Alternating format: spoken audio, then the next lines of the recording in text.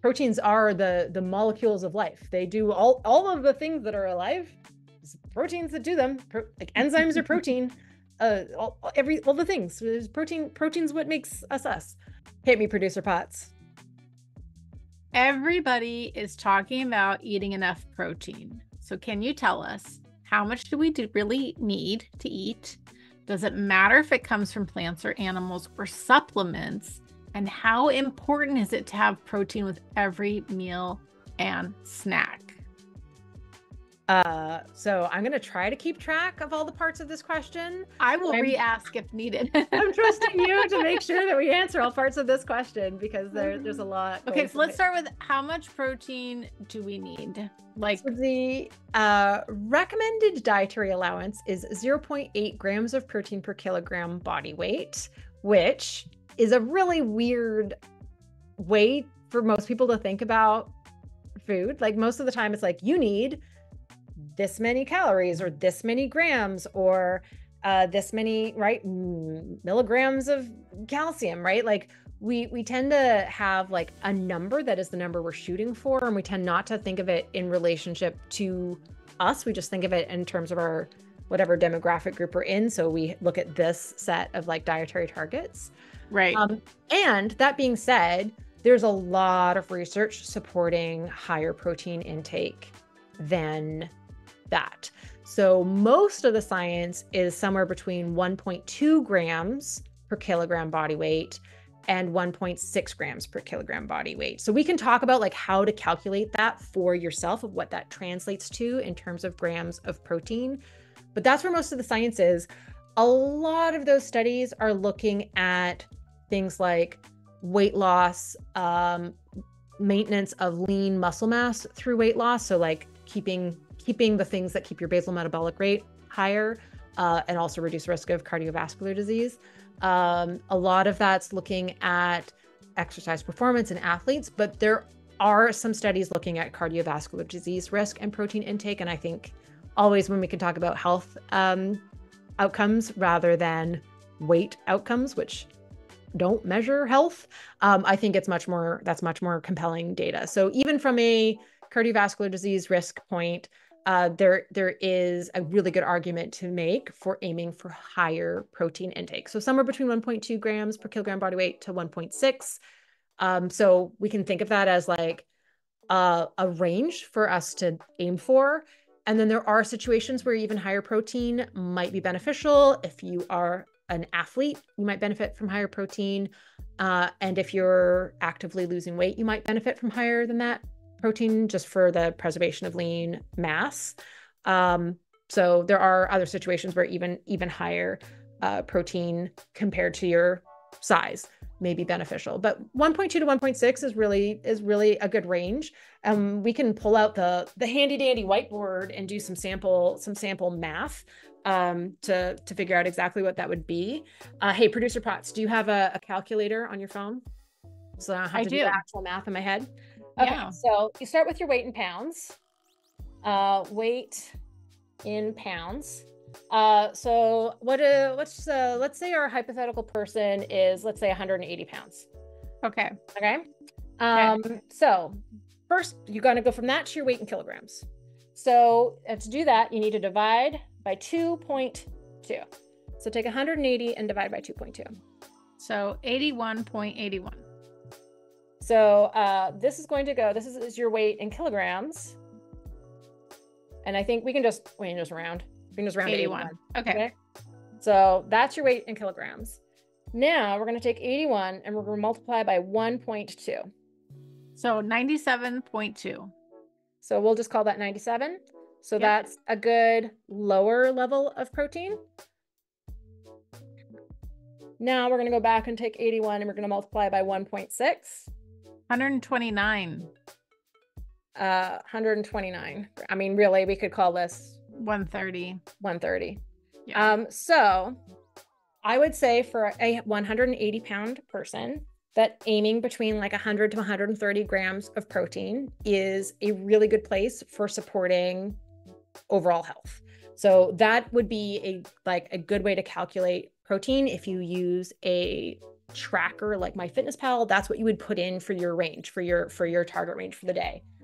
Caveat, we don't want our protein intake to be higher than about 30% of our total calories. So, there's four keep your calculator out.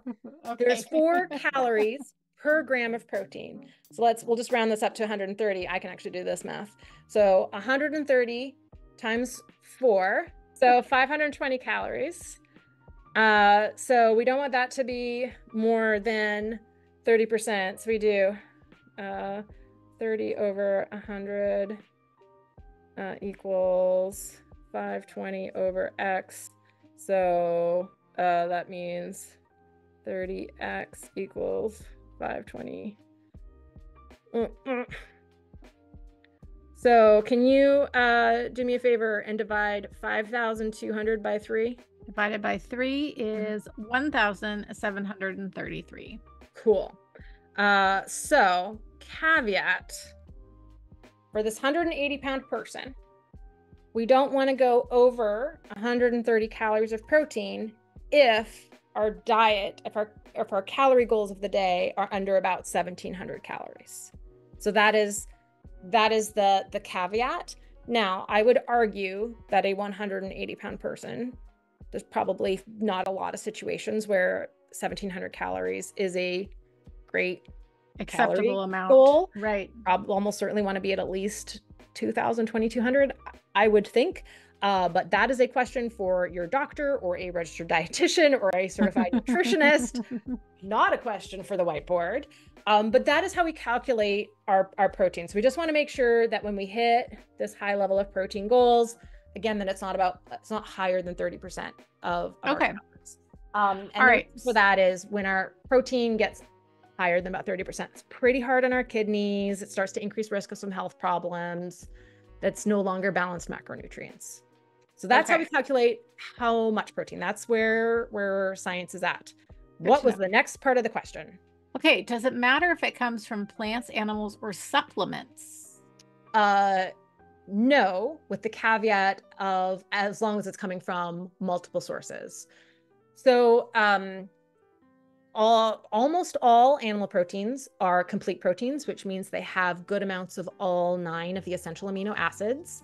Uh, the only incomplete like animal protein that I can think of is collagen. So collagen is an incomplete protein.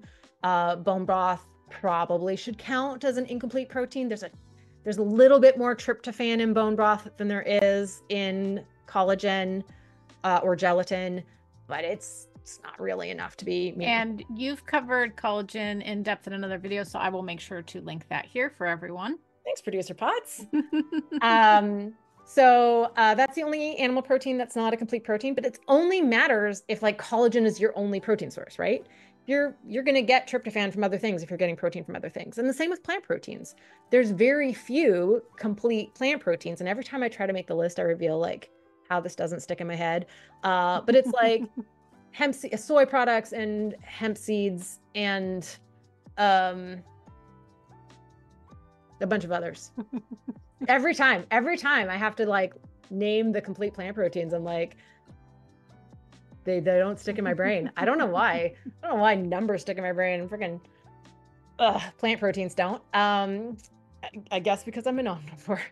Uh, so, um, and also because complete plant proteins, it really, again, it doesn't matter. So, um, you don't need to be getting all nine essential amino acids from the same meal, but also as, as long as you're you're getting protein from a diversity of sources, you're going to be balancing out uh, whatever proteins are are missing, right? Lysine and methionine in, in, terms of, of plant proteins.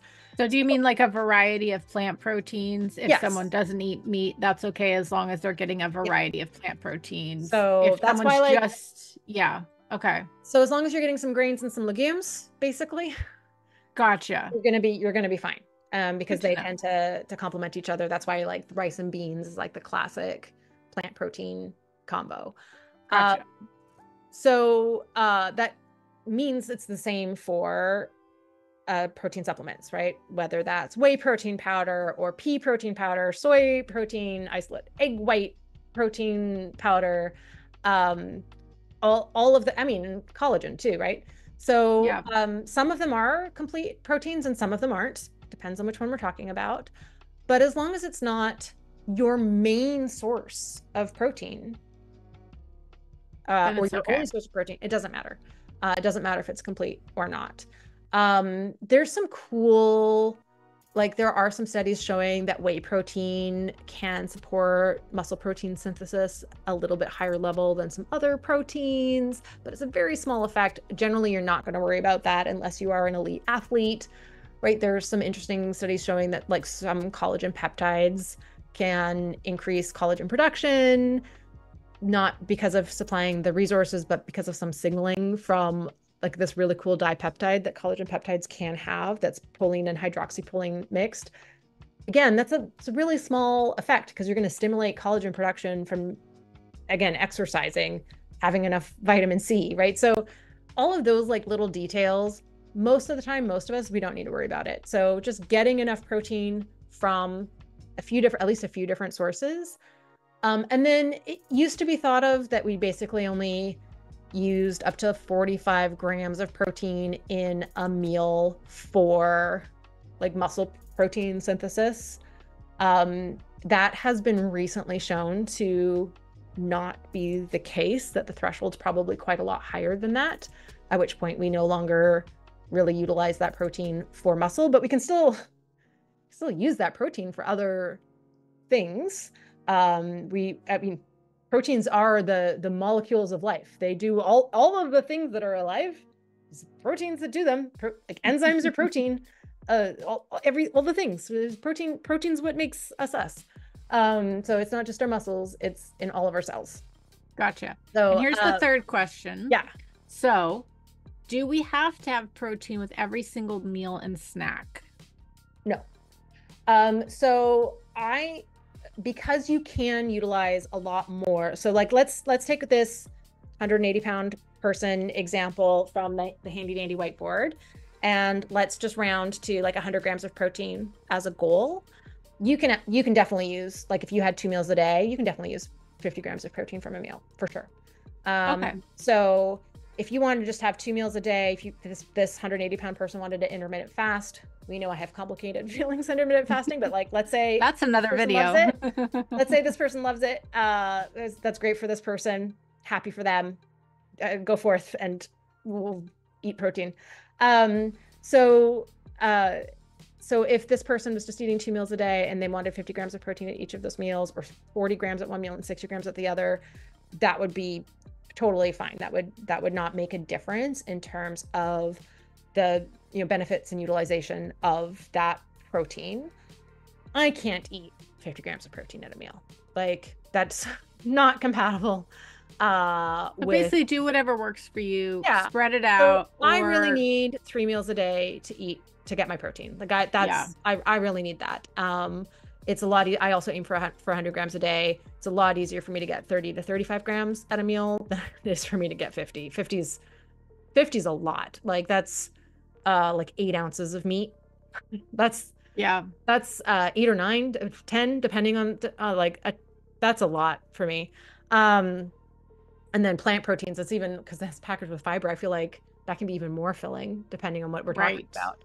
So, um, so yes, so it doesn't really it doesn't really matter, and you don't need to get it at every meal. So, um, uh, this it's fascinating that you asked me this question because I actually uh, filmed a video in the woods this morning where I talked about this, and we did not know that we were going to have this conversation.